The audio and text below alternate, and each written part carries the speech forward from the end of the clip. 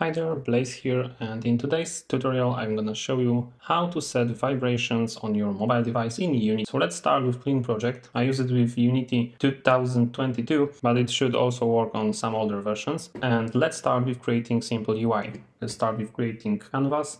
We should use with screen size and set match to 1. Now let's create UI button. With Text Mesh Pro, we need to import TMP essentials. Let's do this by clicking this button. It should not take long time. Here we go. Set the button on the center of the screen and set text default vibration. Can use auto size and set max 24. So we will have this text here and we can also use margins, let's say 10 on left and right side. Okay, we have our button and now we will need script. So click on the canvas or on the object where you want to keep your script, add component, new script and create script named button vibration handler, create that and now open the script in your favorite IDE. And now we have standard script here.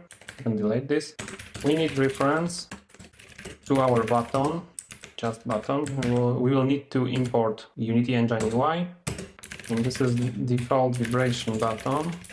Remember that you should always use serialized fields, not making the fields public. Now let's create on enable function, and let's create also on disable function, and let's create handle default vibration function, or we can just name it default vibration. Now in default vibration button, we need to add listener in on click event and we should push our default vibration function.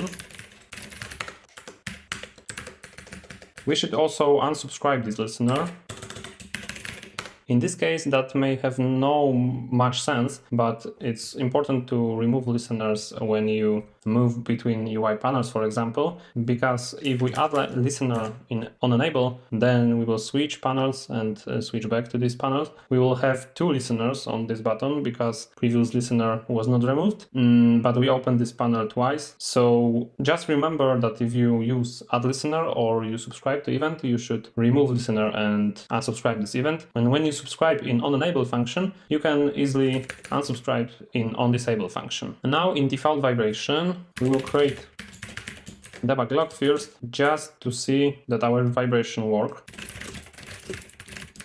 And now we will use the function to trigger device vibration. And we do this with handheld that vibrate you can save this. Let's back to our project. And now the problem is that I cannot show you vibration. I added this debug log here, so you can see that this vibration is triggered properly when we click on our button, but I will record the sound generated by the phone when it vibrates, and I will put this uh, when editing this video, so you can uh, check how this vibration uh, look, and you will be able to compare some vibrations and choose whatever you want. One more thing, we need to set this reference here, default vibration button, we need to put this button here, and let's name it also default vibration button so we will have this name also here. Okay, so now let's click play and let's click on default vibration button.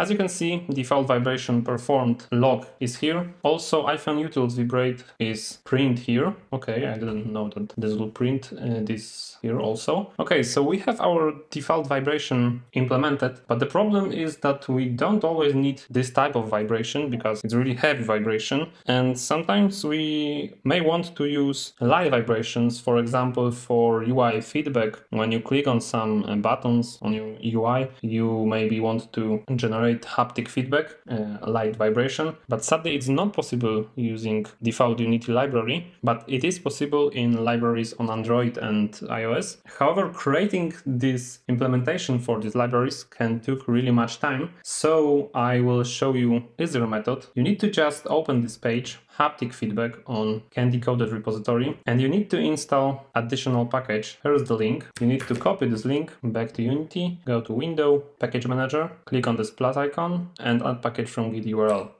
Now paste this link and click add. This package is now installing. Okay, it is installed now. You can close this. One more important thing, when you use third-party libraries, especially in commercial project, take care about licenses. As you can see, this project is on MIT license, and that means that you can use this also in commercial use projects. This is really important if you want to sell your game later. Okay, so we have our library installed. This library provides three different types of vibration. So let's create three more buttons here. Let's move this one a little. Let's set the names. Light vibration button. Medium vibration button. And heavy vibration button. Now let's set the text on these buttons.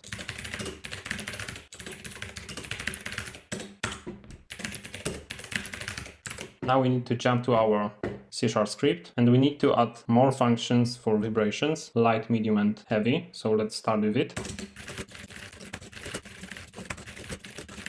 Also we need to add new reference for another buttons here.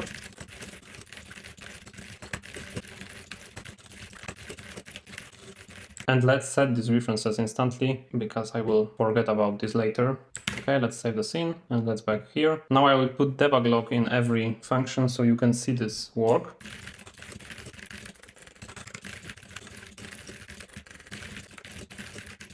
Okay, and now most important thing, we need to set using for candy coded, but if this using seems to not work, you need to switch to Unity back and check your target platform. We now are targeted on Windows, Mac and Linux. We need to change this for Android or iOS. So let's check iOS first and let's click switch platform. This will take a while. After scripts finish to compile, we can back to our project. And now this using seems to work. There is no red underline. Now we can use our methods to perform vibration. When you scroll down on this page, you will have this function listed here.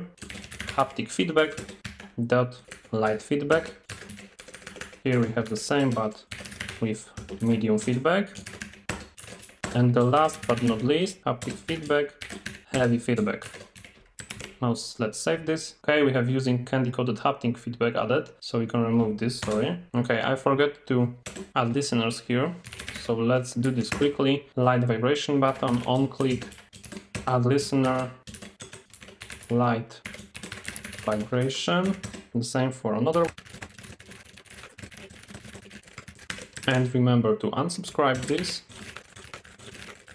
Now let's back to Unity, click play, and now we can test our three new buttons. So let's start with light vibration, medium vibration now, and the heavy one.